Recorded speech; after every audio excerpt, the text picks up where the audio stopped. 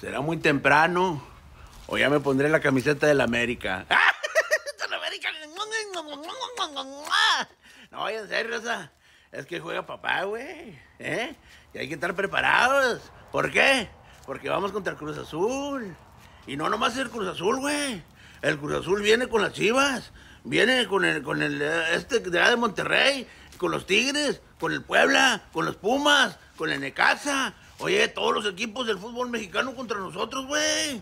Estos montoneros, todos los montón contra nosotros. Bueno, hasta, hasta el Real Madrid y Barcelona, güey. Ahí van en- ahí también, güey. ¿Eh?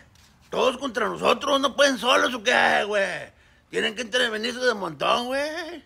Me siento como la película esa de los 300 contra un ejército. ¿Quién sabe cómo se llamaba esa película, güey? ¿Eh?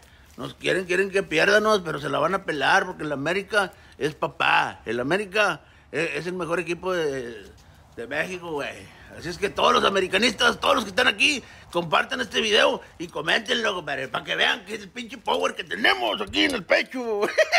Ahí nos vemos, Sam. Pónganse la camiseta ya, güey. Yo ya me la puse.